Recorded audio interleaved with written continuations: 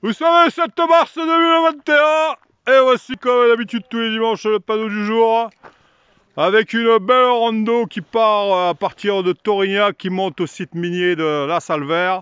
Nous sommes sur les traces, les traces des mineurs de fond, hein, qui nous ont fait creuser des galeries un peu partout là, autour de Torignac. Et voici donc l'équipe du jour, motivée malgré le temps. Un petit coucou. Voilà, on vient de sortir du repas là. On n'a pas fait la sieste parce que regardez, le ciel est un peu. Hein Un peu tendancieux le ciel. hein. voilà, ils sont un peu chafouins parce qu'ils ont mangé vite. Hein? on n'a pas eu le temps de déguster. Non, ils ont mangé beaucoup de fromage. Il y avait un peu de vin, je vous cache pas. Voilà. Et donc nous allons longer cette crête. Et ensuite nous allons rejoindre Torigna. Vers 5, 4 heures, on sera en voiture, 3h30 peut-être.